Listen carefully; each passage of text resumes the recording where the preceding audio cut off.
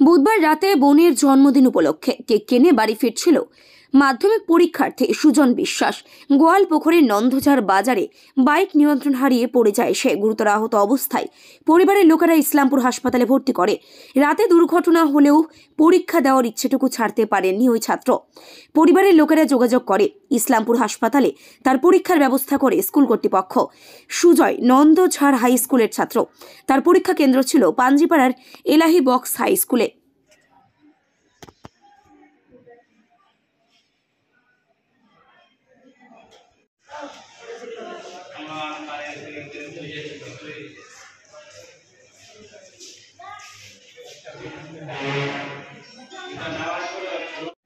হ্যাঁ সৃজন বিশ্বাস আমার স্কুলের মাধ্যমিক ক্যান্টিন কোথায় সেন্টার পড়েছিল? ওর এলহাই বক্স হাই স্কুলে।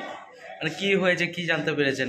হ্যাঁ জানতে পেরেছিলাম যে ওর বোনের নাকি জন্মদিন ছিল সেই হিসেবে ও কেক আনতে যায় বাজারে নিজেই বাইক চালাচ্ছিল। এবং রাস্তায় খুব পাথর টাথর ছিল বাইকটা উল্টে দিয়ে পড়ে যায় এখন ওর পরীক্ষার কি ব্যবস্থা হয়েছে?